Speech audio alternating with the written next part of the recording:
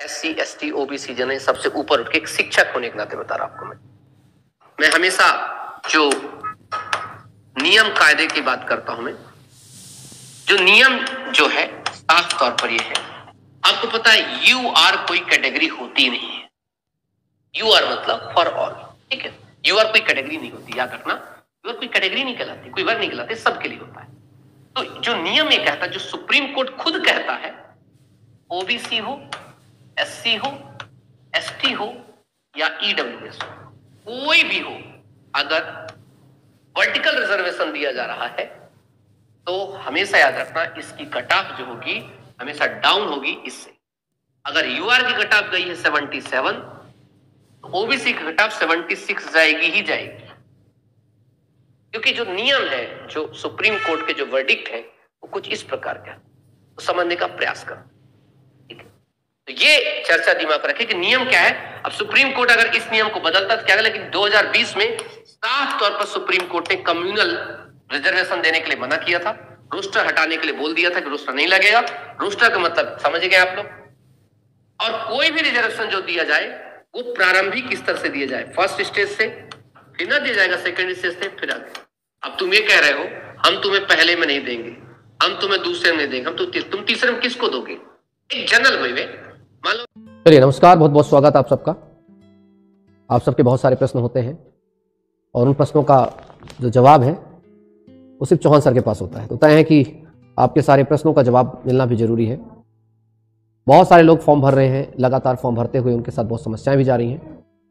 एक एक करके करेंगे, ठीक है? आपकी रोज़गार की समस्या हो, या यूँ कहें, आपकी कौन से कैटेगरी से फॉर्म भरने की समस्या हो, तमाम किसी भी चीज़ की समस्या हो उसकी सभी चीज़ों की चर्चा मैं एक बार करने का प्रयास करूँगा आपसे, ठीक है? देखो, पटवारी एक है, चक्षु प्रकाशन किताब, तब तक इसको मंगा लीजिए पेश कर्मचारी चैनमन भोपाल द्वारा आयोजित है। समूह दो, समूह फोर के लिए परीक्षा है इसमें। सहायक संपरीक्षक सहायक जनसंपर्क अधिकारी सहायक नगर निवेश, सहायक राजस्व अधिकारी, सहायक अग्निस्व अधिकारी और समकक्ष पर तो आप इसको मंगा लीजिए। स्टडी पूरी गाइड है इसमें। पार्ट पार्ट भी दोनों चीज़ें हैं। सामान्य विज्ञान, सामान्य हिंदी, जनरल इंग्लिश, सामान्य गणित, सामान्य ज्ञान, अभिरुचि, कंप्यूटर ज्ञान, तार्किक योग्यता, सामान्य प्रबंधन, ये सप्तम तो ये आप लोग इसको मंगा सकते हैं, काफ़ी महत्वपूर्ण है। किताब है चक्षु प्रकाशन के, नीचे लिंक लगा हुआ है डिस्क्रिप्शन में, वहाँ से आप मंगा लीजिए किताब को। स्टार्ट करते हैं। सबसे पहली समस्या रोज़गार पंजीयन को लेकर के कि, सर, रोज़गार पंजीयन हमारा अभी किसी का छह महीना बचा है, किसी का एक साल बचा है, किसी का अगले साल बचा है तो क्या हमें समग्र आईडी के साथ उसे कनेक्ट करना चाहिए या नहीं करना चाहिए? तो बता दूँ, घबराने की आवश्यकता नहीं है। नहीं करोगे तो भी कोई दिक्कत नहीं है। आप ना करिए। चलेगा। पहली बात क्योंकि आपके पास रोज़गार पंजीयन होना चाहिए। समझ के बात? बार बार कॉल करते हो एक ही चीज़ के लिए? और इसका जवाब आप कोई देता नहीं है। मैं तो बता रहा हूँ, रोज़गार पंजीयन क्या सिर्फ़ रोज़गार पंजीयन, नंबर चाहिए उसमें बस ये लिखाना चाहिए कि हाँ जब आपने फॉर्म भरा तब वो पंजीयन जीवित था। बस। बाकी कोई मतलब नहीं है। और जब, जिस मंथ को आपका पंजीयन क्या हो रहा है एक्सपायर हो रहा है, तब आप उसको क्या कर लेना? उसको रिन्यू कर लेना। एक दूसरी चीज़, सर, मैं अपना रोज़गार पंजीयन में अगर अभी अपडेट करवाऊं तो तो भी कोई दिक्कत नहीं। तो अब अपडेट करवाओगे तो आपकी समग्र आईडी अपडेट हो रही है। तो समग्र आईडी में सर नाम कुछ और आ रहा है, बाकी तमाम चीज़ कुछ आ रहा है तो उससे कोई फ़र्क नहीं पड़ता है। आपका समग्र आईडी जैसे अपडेट होती है, समग्र आईडी के हिसाब से जो भी चीज़ आ रही है उसमें रोज़गार पंजीयन में घबराए नहीं, क्योंकि रोज़गार पंजीयन का कोई लेना देना नहीं आपके एग्ज़ाम से रोज़गार पंजीयन सिर्फ़ दिखाने के लिए है कि ये रहा हमारे पास रोज़गार पंजीयन। बस क्लियर मतलब क्रमांक चाहिए उसका, बस। जो आपका पहला क्वेश्चन दूसरा क्वेश्चन कि सर मैं रोज़गार पंजीयन मैंने ईडब्ल्यूएस डाल दिया है, जबकि मेरे पास ईडब्ल्यूएस नहीं है। या रोज़गार पंजीयन में यूआर डाला हुआ है। मेरे पास जबकि मैं ईडब्ल्यूएस बन चुका है मेरा, कोई फ़र्क नहीं पड़ता। तुम जनरल के हो, तुम ओबीसी डल गया एस डल गया कुछ फ़र्क नहीं पड़ता। रोज़गार पंजीयन का कोई फ़र्क नहीं पड़ता। ध्यान रखना, रोज़गार पंजीयन का सिर्फ़ सिर्फ़ रोज़गार पंजीयन क्रमांक चाहिए। क्लियर अच्छा। पहला क्वेश्चन आपको क्लियर दूसरा, सर, जो फॉर्म भरा जाएगा, उस पर मेरे मार्कशीट में कुछ और नाम है, आधार कार्ड में कुछ और नाम है, मैं क्या करूँ? तुम कुछ नहीं कर सकते। क्योंकि जो व्यापम है, जो व्यापम है व्यापम का जो फॉर्म भरा जाएगा, वो आपकी टेंथ क्लास के मार्कशीट के अनुसार नहीं भरा जाएगा, बल्कि आपके आधार कार्ड के हिसाब से भरा जाएगा। अगर टेंथ की मार्कशीट में आपका नाम राम सिंह है और आधार कार्ड में लल्ले राम है तो आपका फॉर्म लल्ले राम के हिसाब से भरा जाएगा। इधर क्लियर? आपकी डेट ऑफ़ बर्थ जो भी वो आधार कार्ड के हिसाब से ली जाएगी, जो कि अपराध है। अपराध मतलब गलत है इलीगल है ये, क्योंकि व्यापम जो है इलीगल वाला ये काम है कि आप व्यापम के पास अथॉरिटी नहीं है कि वो आधार कार्ड की डेट ऑफ़ बर्थ को एक्सेप्ट करें। लेकिन फिर भी कर रहा है, कोई दिक्कत ऐसे मेरे पास केस है। तो ये लोग को करते तो हमारे पास फिर कुछ केस आते हैं तो, तो कुछ बच्चों ने हमारे पास केस ऐसे दिए हैं। तो आपके पास वैसे अगर कोई समस्या क्योंकि आपको बाद में भगाएँगे लोग। क्यों भगाएँगे? क्योंकि आपकी टेंथ में डेट ऑफ़ बर्थ कुछ और है और Aadhaar card date of birth कुछ और है। और Aadhaar card date of birth को सर्टिफाइड नहीं करती है। Aadhaar card date of birth को पासपोर्ट सर्टिफाइड नहीं करती है। तो इसलिए फ़िलहाल के तौर पर आप अपना फॉर्म भर दीजिए क्योंकि आपका फॉर्म आधार कार्ड के हिसाब से भरेगा। ठीक है? तो आपका फॉर्म किसके साथ भरेगा? आधार कार्ड के हिसाब से। मतलब आप कोई बदलाव नहीं कर सकते। भर दीजिए कोई दिक्कत नहीं। उसका प्रिंट निकाल करके मेरा नंबर है उसमें भेज दीजिएगा। ठीक है? अगर आपको लगता है कि डेट में दोनों मैच आ रही है सर तो उसको अभी से आप जो है उसको निकाल के, उसको अभी से आप उसको चैलेंज कर दीजिए। कहाँ पर? चैलेंज कर देंगे पिटीशन के थ्रू पर कोर्ट के पास। तो उससे क्या होगा? जब आप सिलेक्शन होगा तो आपको ये लोग भगाएँगे नहीं। इधर क्लियर देखो इसमें घबराने की आवश्यकता नहीं। आधार कार्ड के हिसाब से आप फॉर्म को डाल दीजिए। और डेट ऑफ़ बर्थ में कोई चिक्कत आ रही है, कोई दिक्कत आ रही है नेम में चिक कोई दिक्कत नहीं है। ठीक है? तो ये बहुत महत्वपूर्ण दिमाग में रखेंगे, ये आपका क्लियर कॉन्सेप्ट हो गया। चले, अब आगे क्यों चलते हैं। पहला दिक्कत, चलिए। क्योंकि इनका सर्वर नंबर एक का इश्यू इस समय चल रहा है। उसको चक्कर मार रहे हैं और रोज़गार का सर्वर तो वो, उसको मिर्गी मारती रहती है रोज़गार सर्वर को। मिर्गी मारती रहती उसको हर हर उसको चार घंटे में उसको मिर्गी मार देती है, फिर घूमता रहता है, फिर बाहर फेंक देता है। तो जिस बड़ी बड़ी संस्थाओं के, जिनकी दो बहुत महत्वपूर्ण वेबसाइट है एमपी ऑनलाइन की वेबसाइट, जिसमें व्यापकों का फॉर्म भरा जा रहा है, उसको तो आईसीयू में आती जाती रहती है तो उसको कभी होश आता, कभी नहीं आता, कभी आता, कभी नहीं आता। और जो रोज़गार का जो तो मुर्गी मारता है, दोनों को रोग है, बड़े रोग ग्रसित है दोनों ये जो ये वेबसाइट है। सर, मिर्गी, अरे मैं सही कहता हूँ रे बाबा, तुम खुद देखो रोज़गार पंजीयन का, खुद ही ससुरा भूल जाता पंजीयन वाली वेबसाइट। खुद ही भूल जाती है इस बात का कि तुम मेरे कह देगा data not found data not found और जब बच्चा नया रोज़गार पंजीयन बनाएगा तो कह देगा दूसरा मिल गया।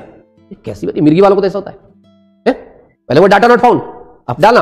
पुराना पंजीयन डाल डाटा नॉट फाउंड और जब तुम नया बनवा लोगे तो कह देगा दो दो तुम्हारे पास है। इन्हीं को खुद ही नहीं पता।